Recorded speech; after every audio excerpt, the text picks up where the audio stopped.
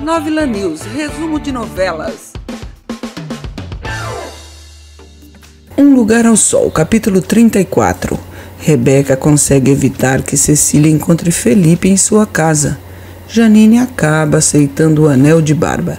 Bárbara lê as mensagens de Felipe no celular de Rebeca e descobre que a irmã está se relacionando com o rapaz. Christian Renata é obrigado a concordar com Túlio na frente de Santiago. Noca convence Lara a descartar os pertences de Christian.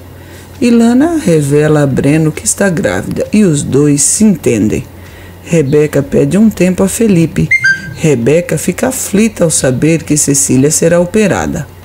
Érica descobre que Santiago pagou as mensalidades da escola de Luan antes do filho conquistar a bolsa de estudos. Lara se assusta com as previsões de um cartomante. Mary conta para Lara que Noca irá se casar e a moça desconfia. Rebeca descobre que Felipe é neto de Ana Virgínia.